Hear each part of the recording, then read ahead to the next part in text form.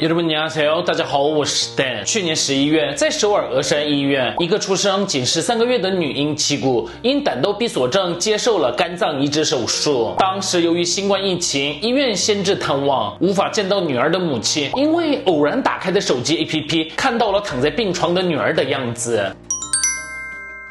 이제중환자실에아기가들어가면 면회가 불가하니까 이제 보호자들을 위해서 이제 영상 통화를 하루에 한 번씩 해주신다 하셔서 그런 영, 공기계를 하나 넣어주면 된다 하시더라고요. 그냥 연락 기다리면서 지내다가 갑자기 알람이 와서 음, 음. 확인을 했더니 지구가 보이는 거예요. 음.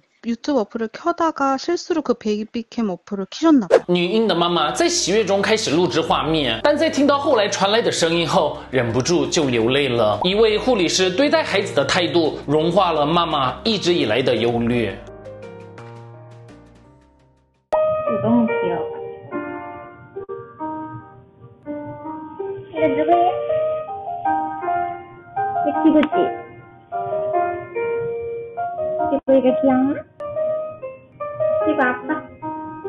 아빠. 이거 아빠야? 이찌구찌.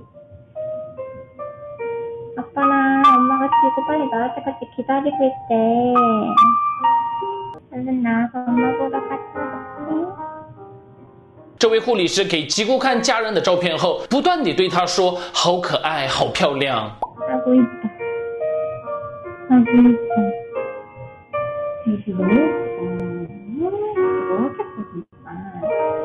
고있다하고있다이거너무 왜 이렇게 이뻐? 울지도 않고 이거 사랑해요 이거 사랑해 음. 하고 있어 우리 애기 하고 있다 하고 있다 女婴的妈妈表示：“저 진짜 엄청 많이 울었어요. 그 사실은 그 안에서 어떤 풍경인지도 전혀 모르고 가본 적도 없으니까 음. 이제 막 그냥 전화로만 이렇게 이렇게 처치했습니다 하면서 알려주시는 걸로는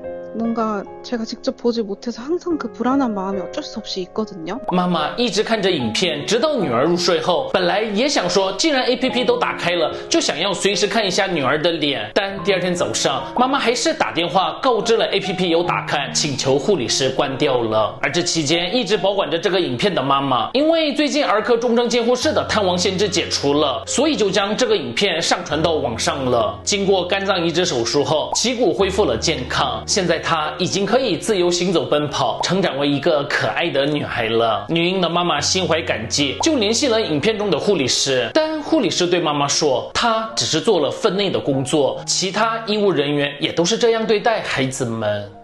얼마나고생하시는지가까이서보면볼수록더존경심이진짜엄청늘어나는거예요그런사명감하나로 우리 아이들 위해서 생명들을 위해서 애써주시는 거 진심으로 감사드리고 존경하고 다들 건강하셨으면 좋겠다고 我也是一个有生病的孩子的爸爸，在护理师的一句话一句话，让我流下了许多眼泪。我向那位为了孩子的健康给予美好祝福的护理师深深的鞠躬，表示感谢。在护理师温暖的话语下，宝宝用眼神做出了反应，就像是一个童话故事一样。默默的为自己的工作尽力的全国各地的护士们，会一直应援你们，感谢你们。如果真的有天使的话，应该就是这位护理师吧。虽然照顾患者很累，但他说的好漂亮，我爱你，都能让我感受。到真诚，看着影片，虽然我的心情变得很愉快，但眼泪也流了出来。大多数护理师跟医生们都会这样做，特别是在儿科方面。希望这样温暖的赞美例子能多多分享出去。